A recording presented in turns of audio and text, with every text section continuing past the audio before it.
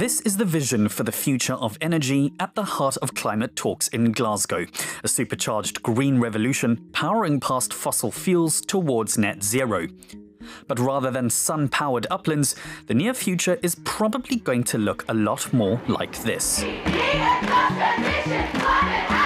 Revved up economies emerging from lockdowns have unleashed massive demand for energy just as supplies are falling short. Demand for electricity is increasing everywhere. We have seen gas price surge across the world. Energy intensive industry have been forced to stop or reduce their activities due to the high energy cost. So for now, fossil fuels are making an unwanted comeback to close the gap.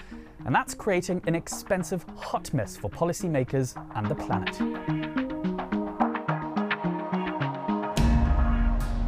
The energy crisis that we're seeing, the increase in natural gas, coal, is prompting many consumers to switch to the use of oil for power generation. Winter is coming, and for many, electricity bills are larger than they have been for a decade. We are witnessing an unsustainable economic uh, recovery. Fossil fuels are growing very strongly, prices are high. This year, we are seeing the second largest increase in the global emissions in the history.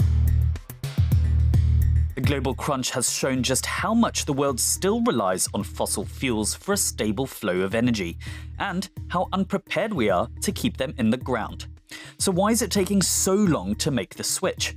Over the past decade, the cost of clean alternatives like wind and solar has plummeted, and investment in clean energy has made massive leaps. In 2020, renewables made up the lion's share of new power generating capacity worldwide, and in the first half of this year, investors pumped in more money than ever.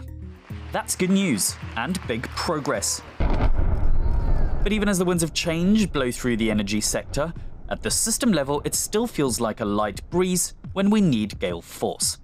Oil, gas, and coal remain king, and polluters are still getting lots of public money. Even with historic investments in clean energy, the world's two biggest consumers of coal keep adding more to the energy mix. Countries have directed over $300 billion in new funds towards fossil fuel activities since the beginning of the COVID 19 pandemic, more than they have towards clean energy. Meanwhile, some of the world's oil giants and advanced economies face a wave of lawsuits. They're being accused of greenwashing, suppressing climate science for decades, and continually lobbying against clean energy policy. Climate activists have long called for energy finance to flow down a different stream, but today, even shareholders are issuing stunning rebukes to company executives. And their message is clear the energy transition is happening, so curb emissions and clean up your investments. The key question with fossil fuels is that at the moment we are trying to address a lot of the problem via supply, telling banks stop financing fossil fuel uh, projects, telling shareholders sell the shares of companies that they pollute the planet, but we have not yet addressed the demand side, and that is the difficult one. If we continue flying around on planes that they are powered by jet fuel, driving around mostly on cars powered by gasoline, if the trucks, the deliveries, and all the e-commerce boom is still supported by diesel, it means that we are going to need fossil fuels. Green revolution is starting. It's going to take a long time. There's a lot of investment that is needed, and it's not completely ready to take fully over the fossil fuels. To supercharge the energy transition, the International Energy Agency says we need to be spending about $4 trillion every single year. And that should fund a historic transformation in a relatively short space of time. It includes new infrastructure, new distribution systems, and much better storage to electrify the globe.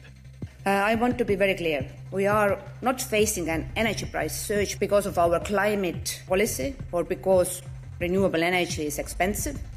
We are facing it because the fossil fuel prices are spiking. We do not yet have enough green, affordable energy for everyone. We need to speed up the green transition, not slow it down.